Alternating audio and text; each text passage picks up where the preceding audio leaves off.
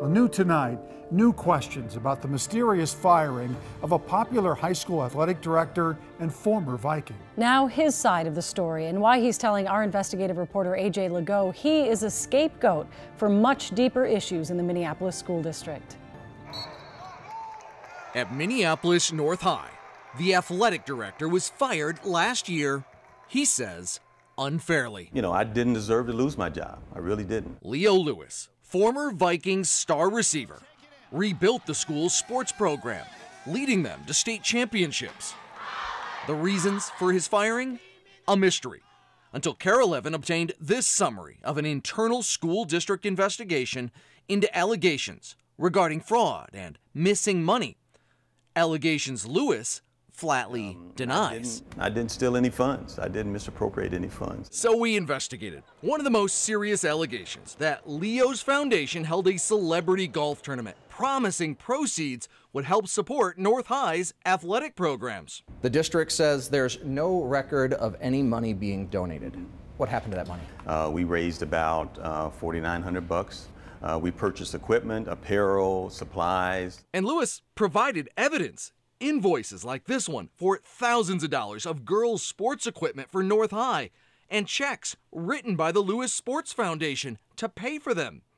And that's just one of the findings Lewis says the district got wrong. And some of them are really false statements. The district claimed when Lewis was questioned, his responses were riddled with excuses and could not be explained. And when it came to buying spirit wear like these caps, they claimed he was plainly untruthful about using an unapproved vendor. I wasn't aware that the vendor wasn't approved. Get this the district claimed the quote unquote unapproved vendor was this Minneapolis store. I was dumbfounded by hearing that. Store owner Bob St. Main says that's simply not true. We've been uh, approved vendor for years and years. When we investigated the district's claims against Leo Lewis, we discovered St. Main Sporting Goods has in fact been approved to do business with Minneapolis schools since at least 2005.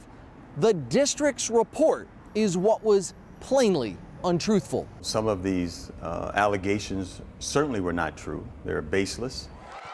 The district also dinged Lewis for taking money from athletic events to the bank to change small bills into 100s to make it easier to count before turning it in. Lewis admits that.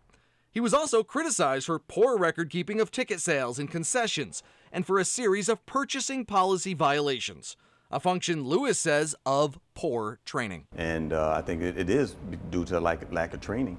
And at the same time, um, this was pervasive. I mean, this occurred throughout the district. Their own policies weren't consistently enforced? I don't believe they were. He's right again. In a report the district just made to the state, they admit purchasing policies were not consistently enforced in athletics. Lewis's troubles actually began in April of 2017 when records show he reported $8,000 raised from basketball and wrestling tickets was stolen from an unlocked file cabinet in the school's main office. Why weren't those funds locked up? That's a good question. Um, I'm not um, responsible for locking the funds up. Lewis says he'd already taken that money to the main office at North, where Dunbar Armored Cars were supposed to pick it up. And that's where it went missing. Once the funds were out of my hands, they were not my responsibility. An internal investigation found the money wasn't locked up because the safe in the main office didn't work. Why? Because no one knew the combination. Does that set off alarm bells? Of course, absolutely. Former state auditor Rebecca Otto says by law, when there's a theft, a school is required to report it to the state. So, what's supposed to happen by law is when the $8,000 were reported missing, the district should have contacted the Office of the State Auditor and reported it in writing. But district administrators ignored that law for two years, never reporting it until a few weeks ago, after KARE 11 began asking questions. But that's not the end of the district's failures to safeguard public resources. Even after that ticket money was discovered missing, Lewis says the district never replaced the safe. The assistant said that uh, she didn't have anywhere to store the money. There still were dilemmas in how we could safeguard our funds. In this email, the district admits a working safe wasn't installed until December 14th, 2017, eight months after the original theft four days after Leo Lewis was put on leave. For more than a month, we asked the district for an interview with Superintendent Ed Graff.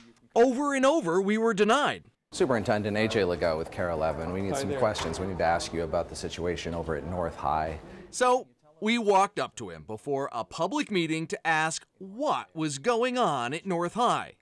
He ignored every question. Can you answer any of our questions, sir?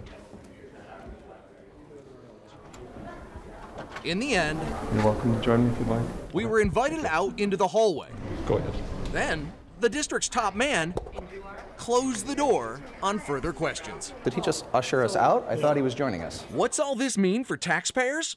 The district paid Leo Lewis more than $50,000 while on paid leave for six months while they did this flawed investigation, and then paid Lewis another $65,000 to stop appealing his dismissal. I'm holding my head high. Our uh, foundation is going to be doing very well in the community. We have for 30 years. I think that uh, you know I'm going to continue to do good work.